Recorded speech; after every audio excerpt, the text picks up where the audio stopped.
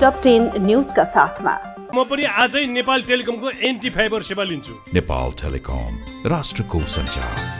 श्री सुन्दरी जल mineral water प्लान्टबाट उत्पादित शुद्धता र विश्वासको प्रतीक Madani premium process drinking water. Hukum Darbar restaurant and hotel Kamal Pokhari Kathmandu. Nepal stock exchange limited.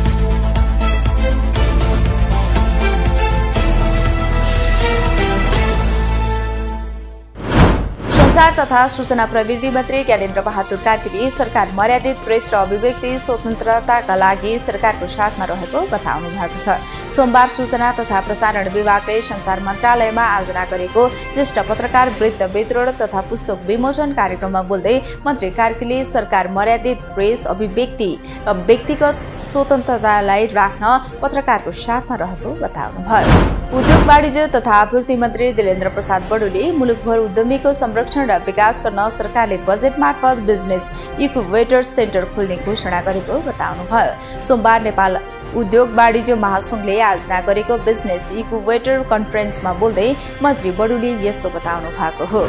Nepal communist party एकीकृत समाजवादीका अध्यक्ष माधव कुमार नेपालले आगामी निर्वाचनसम्म गठबन्धन रहने बताउनु भएको छ।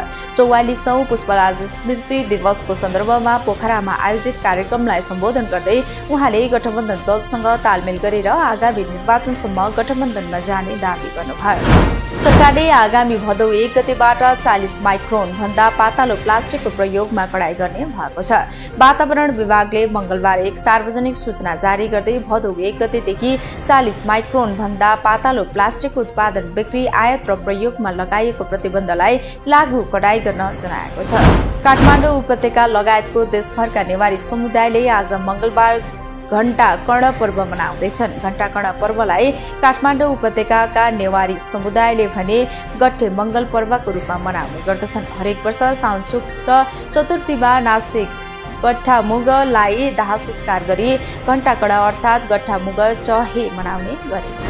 नवलपुरमा पचासी प्रतिशत धान रोपाई सम्पन्न भएको छ। साउनको पहिलो सातासम्ममा जिल्लामा पचासी प्रतिशत धान रोपाई सम्पन्न भएको कृषि ज्ञान केन्द्र नवलपुरका सूचना अधिकारी शङ्कर पौडेलले जानकारी दिनुभयो। सरकारले वितरण गर्दै आएको सामाजिक सुरक्षा भत्ता मरिण गाउँपालिकाले लाभग्राहीको घर आँगनमा नै पुगेर वितरण गरेको छ।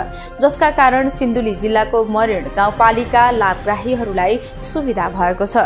सोही गाउँपालिकाले वडा नम्बर एकमा खलङ्गा स्थित वडा कार्यालयबाट सुरु गरेको सामाजिक सुरक्षा अब सबै वडाका घर दैलोमा नै पुगेर वितरण गरिने भएको छ। जिल्ला अदालत लमजुङमा एक वर्ष यता तीन सय बत्तीस दम्पतिले सम्बन्ध विच्छेदका मुद्दा दर्ता गराएका छन्।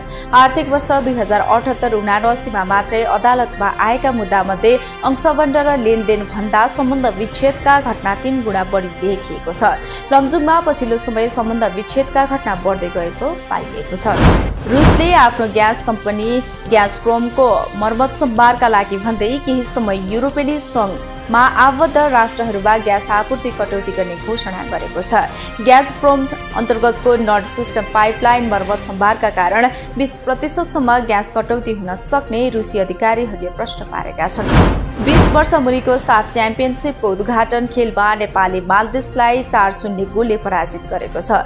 भारतको भुवनेश्वरमा सुरु भएको प्रतियोगितामा नेपालले मालदिप्सको टोली निरही बन्यो। पहिलो हाफमा एक गोल गरेको नेपालले दोस्रो हाफमा तीन गोल थप्यो। नेपालको तर्फबाट अभिषेक वाइबा सुगम सुवाल कृति शरद छुन्चु र मनज्ञ नकर्मीले गोल गरेका थिए।